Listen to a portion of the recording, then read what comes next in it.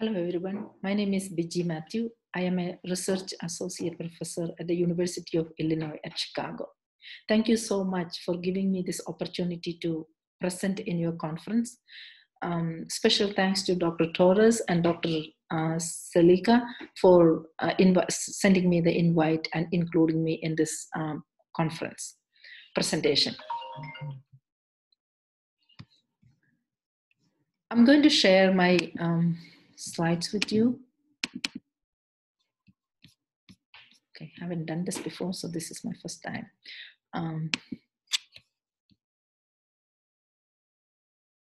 the title of my talk is Extracellular Vesicles uh, as Novel Cell-Free Therapeutics in Retinal Neurodegenerative Diseases. Uh, I will be talking about a little bit of background and overview our transition from stem cells to extracellular vesicles, isolation and characterization of these particles, their neuroprotective effect in retinal ischemia. Then I will also touch base, touch up with the functionally engineered EVs that we have generated and the ongoing work and a summary and a conclusion. The prevalence of eye diseases in uh, US and worldwide is very alarming. Age-related macular degeneration and diabetic retinopathy are the two major leading causes of irreversible blindness. Glaucoma is the second most leading cause of blindness. Considering the aging of the world's population, these numbers are expected to reach 200 million by the year 2050. This gives us the signal that this is a very important problem and it needs to be taken care or we need to do something.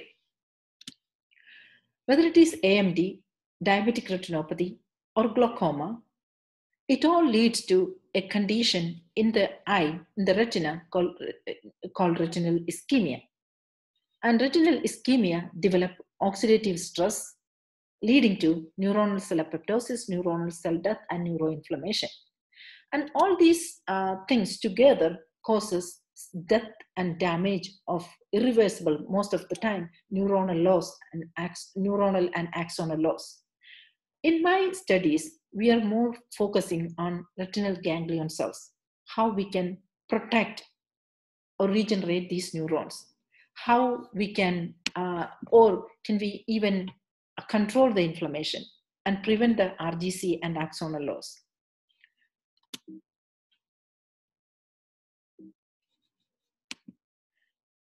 Um, this is a pretty uh, standard image of the histology of retina. Retina is a very well architectured tissue with different cell layers are very, very well organized. And this is the um, heterogeneous population of different cell types that is present in the retina. In a normal eye, as I mentioned earlier, it looks very organized and the layer thickness is pretty standard. But when uh, disease happens, or in case of ischemia, the cells, uh, due to inflammation and infiltration of different immune cells, the, um, the, there is displacement of the cells in the in the layers, which leading to ret- retinal thinning. So retinal thinning is one one of the main main uh, characteristic um, which leads later into the diseases. So the current treatment options, as we all are aware of, are using intraocular injections of um, anti-VEGF or other agents just to uh, prevent further damage or to take care of the symptoms or using eye drops or in case of glaucoma, surgery. This um, treatment has limitations as we are aware of. It has side effects. They are very expensive and they can only treat the consequences, not the cause or the pathology. So it is very important is to develop neuroprotection, stimulate axonal growth, and regenerate RGCs and axons. Towards this goal, uh, our lab started working with the bone marrow derived mesenchymal stem cells as uh, therapeutic strategies to prevent retinal ischemia induced uh, damage. So here, this is a um, this is an ima- uh, figure image from our uh, earlier published paper, where what we have done is we uh, fluorescently labeled bone marrow stem, cell, uh, stem cells and injected them intra, intravitreally into the uh, eyes of rats, uh, normal and ischemic eye. So as you can see here, over the course of three weeks, the cells very well um, survived and they were incorporated into the retina. And this is confirmed here by using retinal flat mount imaging. Um, and there is very interestingly, uh, we found that when ischemia, uh, the eye, ischemic eye has more penetration of stem cells uh, into the retina. Even though stem cells are very promising, there are some problems associated with them. There are side effects like limited integration of the cells into the retina, in, into the tissue, here in this case retina, and there can be aberrant growth, um, a transformation into tumor. Um, there can be immune reaction and uh, surgical compl complications while introducing these stem cells into the retina.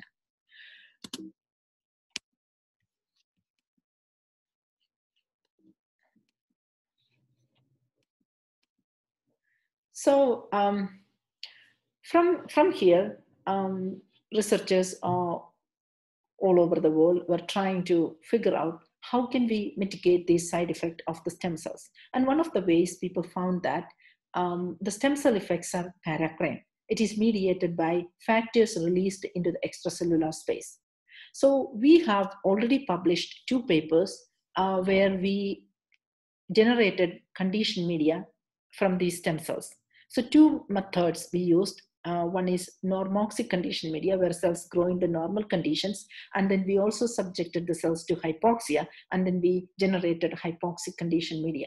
Both these uh, condition media, when injected into the vitreous um, in an ischemic uh, uh in vivo model, we found that they were equally protective.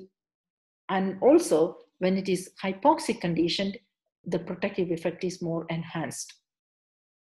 So this led to the discovery uh, from us and others that uh, certain uh, factors which is released into the um, into, into, the extracellular space are basically driving the protective effect of these um, these stem cells, and those of that there are naturally there are factors tropic factors like proteins and other material uh, other other factors. But one um, important observation is um, the nanoparticle like uh, nanoparticles secreted into into the in, into the uh, extracellular space.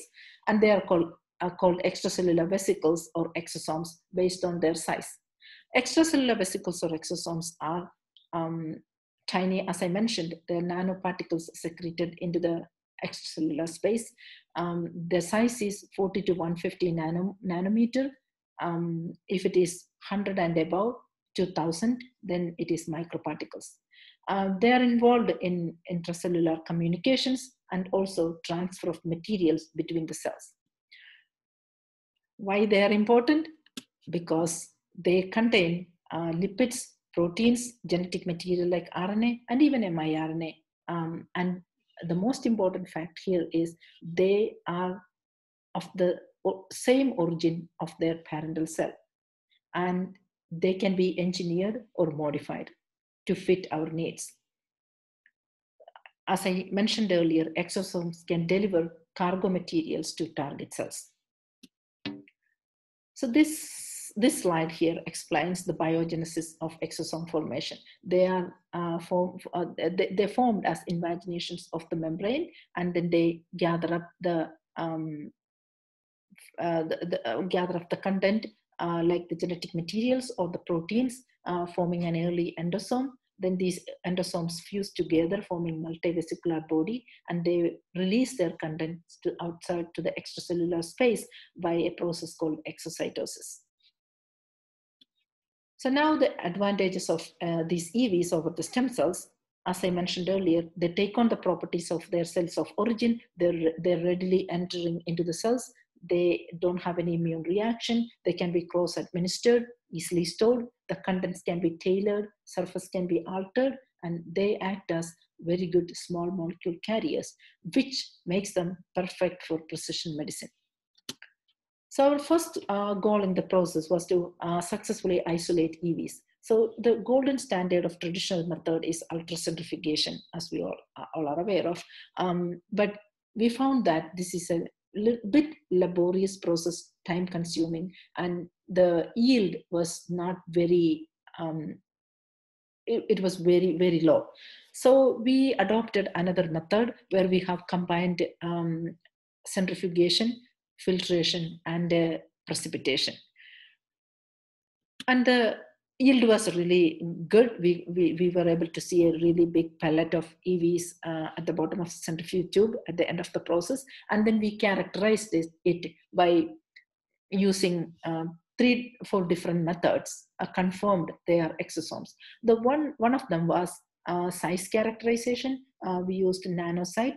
A NanoSight tells us um, what is the particle size and the number, size and the number uh, we found that uh, here is a comparison of our method and the ultracentrifugation method.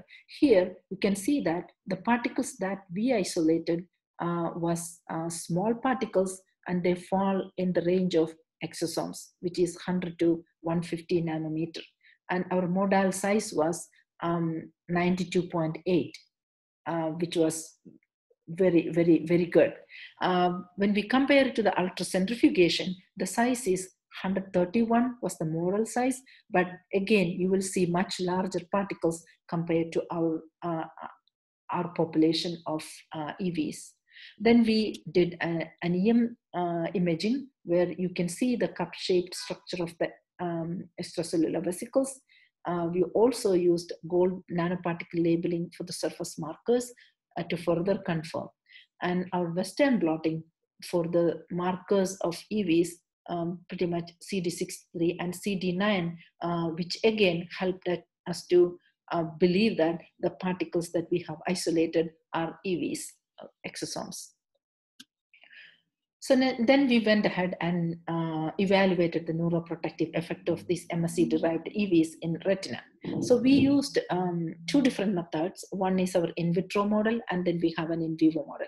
The in vitro model, um, our studies were done in uh, retinal uh, neuronal cell line, R28, which is a, uh, a, mixed population of different types of retinal cells as we see in the retina has all these um, mixed population um, so here, uh, the model is oxygen glucose deprivation. Uh, what we do is like we use um, no glucose media and then uh, put them in hypoxic condition where the oxygen content is 1%, which uh, mimic the in, in vivo retinal ischemia. Um, so in this model, after we uh, subject the cells to OGD, 24 hours, we will change the media to normal, normal media and then add the EVs and uh, it's kind of post treatment and then uh, reoxygenate for 18 hours and at the end of the experiment we'll measure the endpoints like cell proliferation cell death and also we'll look for uh, inflammatory markers and apoptosis. Um, here uh, this is um, this this this is cell death data.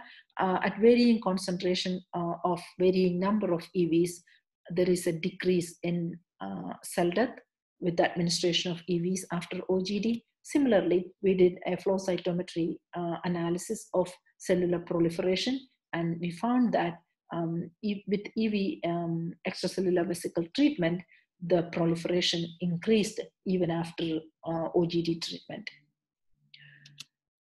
Here is our in vivo model. Uh, we use Wistar rats. Um, so the study is, uh, this is a schema of our study. So we subject the rat at baseline uh, to uh, at baseline do the ERG, and then uh, on day one, we subject the eyes to ischemia by raising the intraocular pressure to 130 mercury, and then 24 hours post ischemia, administer uh, EVs intravitreally, and then uh, depending on what we are measuring, um, we will collect the retina if we have to evaluate apoptosis and other inflammatory markers.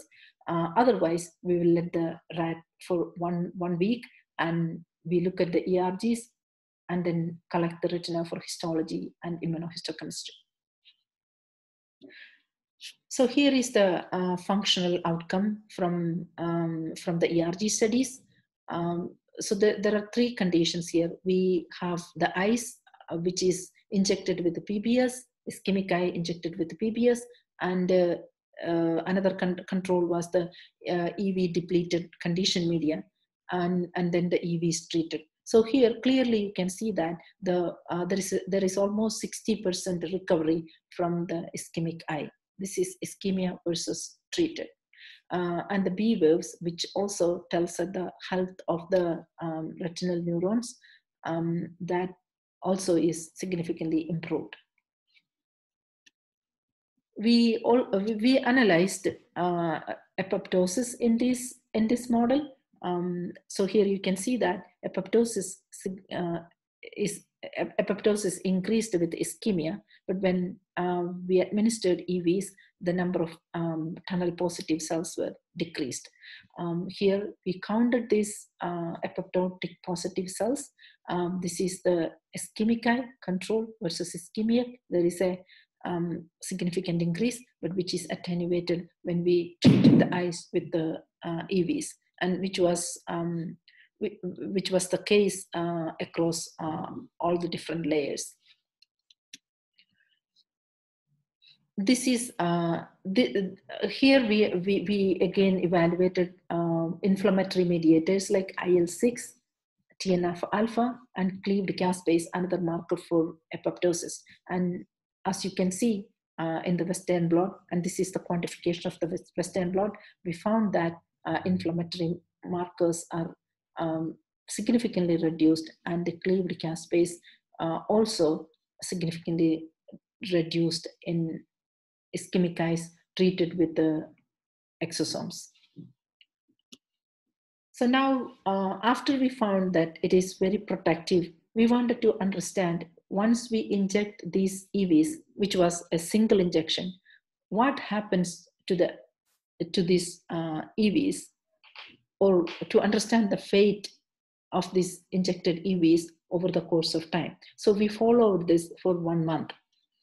So here um, we can fluorescently label label these particles. So we use a green fluorescent labeling agent um, to label the particles and then we injected intra intravitreally into the eyes of the rat and followed for like four weeks. And as you can see this is a control eye nothing injected and this this is day one control versus ischemia.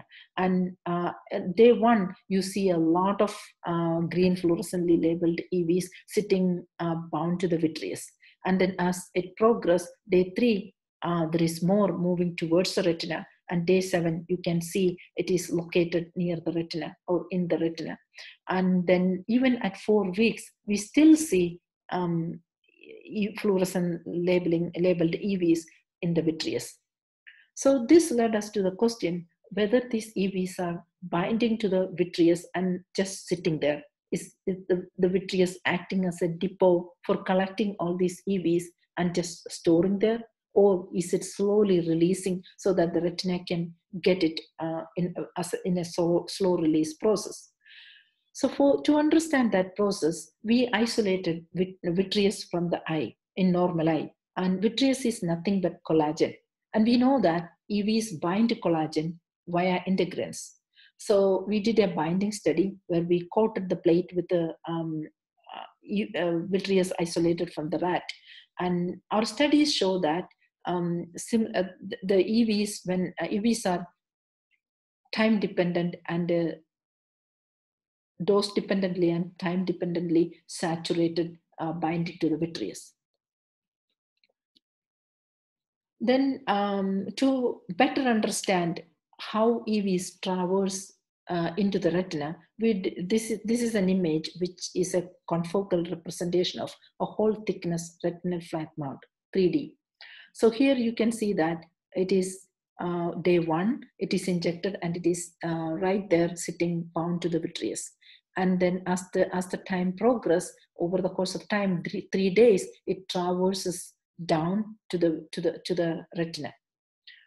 We also confirmed this by doing retinal cryosections where these are green fluorescent labeled EVs and then we stain the retinal ganglion cell layer with the beta tubulin 3 and you can see that the EVs are um, moving towards or they are all already there in 24 hours post administration, they are in the retinal ganglion cell, cell layer. So they are, they are moving and uh, penetrating uh, through the blood, uh, blood retinal barrier and to reach the retina and especially to the ganglion cell layer. We also um, confirmed that um, the EVs once injected, they can reach up to the optic nerve. This is an image of an optic nerve head. Day one, the EVs are injected, still sitting in the vitreous. And then by day seven, we can see some of the EVs penetrating into the retina and reaching up to uh, through the axons into the optic nerve head, which is very promising. This, this, this is a uh, flat mounted retina, retinal section. And here uh, we used multiple uh, marker cell marker stains to see which cell types are specifically taking it up. So this IBA1 is a marker for ret, uh, retinal microglia, and you can see that a lot of uh, EVs are co-localized with the red color, uh, red IBA1, uh, which means microglia is taking up a lot of EVs um, within 48 hours of administration. And similarly, astrocytes, Vimentin stains for astrocytes, and astrocytes are also uh, uh, all these EVs once we inject it. Our um, interest was more in seeing whether they are taken up by the retinal ganglion cells. Are they reaching? So here, this is 48 hours post-injection. You can see that when we co-labeled with the beta tubulin 3 and uh, BRN3A. BRN3A is a very specific marker for RGCs. So is beta tubulin 3. And you can see that um, they, they are in ischemic and non-ischemic eye. Uh, they co-localize very well with these um, BRN3 positive and beta tubulin 3 positive cells, which confirms they are taken up by RGCs. And this is a better image, an enlarged version of the same um, same slide that I have shown you, non-ischemic eye and ischemic eye. Somehow we notice that ischemic eyes take, when the eyes are subjected to ischemia, the blood retinal barrier permeability um, or so, something happens which we don't know, but um, more EVs are penetrating to the retina when the uh, eyes are subjected to ischemia. So the take home summary from here is in vitro and in vivo neuroprotection is um, is guaranteed by uh, administration of EVs. Um, they attenuate neuroinflammation and apoptosis. They penetrate blood-retinal barrier to retina and optic nerve head. It remains in the vitreous for four weeks, binding to the collagenous vitreous via integrins, and they are localized in RGCs, microglia, and other cell types. And these findings are published in uh, biomaterials paper. Now our next goal is the generation of functionally engineered EVs. Um, whether we can modify these EVs with what we think is more, um, more to enhance the protective effect. So as I mentioned earlier, we found that when the cells are subjected to hypoxia, there is enhanced neuroprotection compared to normoxic um, EVs, normoxic conditioned media. So we isolated uh, EVs from hypoxia conditioned uh, stem cell media and evaluated it uh, or compared its effects to the normal EVs. Um, here you can see that the cell proliferation compared to the normoxic, it increased significantly. And similarly, this is uh, a mistake here, but actually it is cell death, cell death decreased. Cell death decreased, decreased and cell proliferation increased compared with the normoxic EVs for the hypoxic. And now uh, our question is, if the hypoxia is enhancing this protective effect, what is different in hypoxic EVs that is not there in normoxic EVs? Or what exactly is driving this functionality. As we know that the EVs contain the um, part of the cell, like it contains the proteins, lipid, MIRs, DNA, RNA, and other things. Studies are more pointing towards MIR, microRNAs are the uh, functional entities that is driving the uh, functionality of these particles. So to confirm that microRNAs are involved in, in this functional aspect, we did a silencing or um, we deleted or we blocked dicer and AGO2, two specific genes which are involved in the biogenesis of MIR precursor uh, generation. Uh, using siRNA silencing um, in cells like uh, mesenchymal stem cells, we deleted these two genes. And then uh, the EVs produced from these particular cells did not have any dicer or AGO2. And that means they don't have any microRNA population. So when we use these EVs in our OGD model and measured LDH uh, cell death, we found that in when we used normal uh, conditioned or, or normoxic EVs and the hypoxic EVs, as I have shown before, the effect was pretty clear. They attenuated. And, but when we use the dicer and ago knockout uh, EVs, the effect was, um, there was no effect. The cells were dying.